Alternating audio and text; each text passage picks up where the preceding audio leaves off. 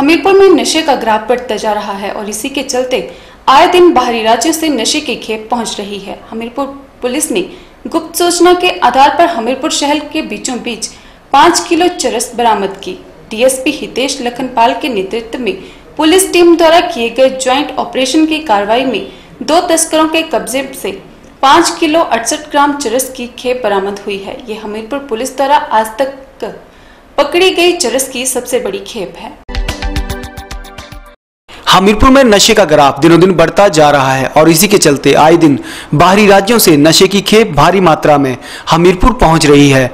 Hamirpur police ने गुप्त सूचना के आधार पर हमीरपुर शहर के बीचों बीच पाँच किलो चरस बरामद की है। डीएसपी हितेश लखनपाल के नेतृत्व में पुलिस टीम द्वारा किए गए ज्वाइंट ऑपरेशन की कार्रवाई में दो तस्करों को भी गिरफ़्तार किया है और उनके पास से पाँच किलो अठासठ ग्राम चरस की खेप बरामद की है। ये हमीरपुर पुलिस द्वारा आज तक पकड़ी गई चरस की सबसे बड़ी खेप है।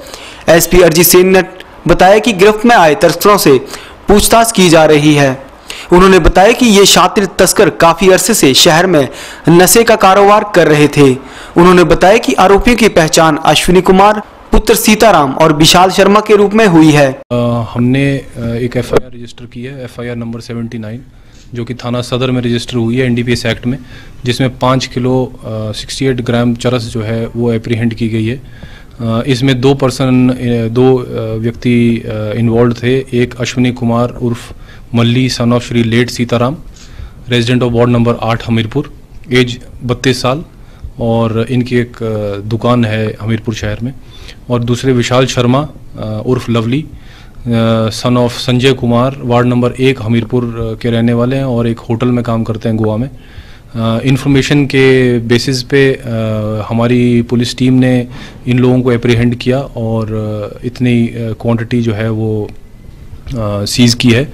हमारे डीएसपी हेडक्वार्टर भी मौके पे गए थे। उसके अलावा मैं ये भी बताना चाहूँगा कि हमारे जो अभी तक कार्रवाई रही है, वो एनडीपीएस एक्ट में काफ़ी सीरियस रही है।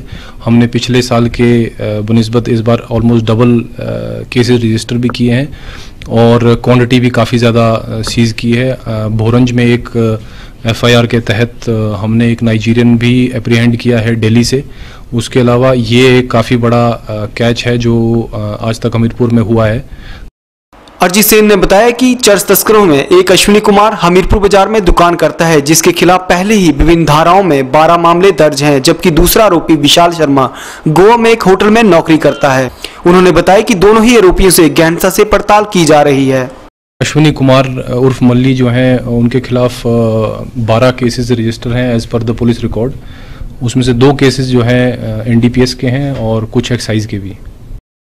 कार्यक्रम में वक्त तो चला है छोटे से ब्रेक का, आइए मिलते हैं ब्रेक के बाद।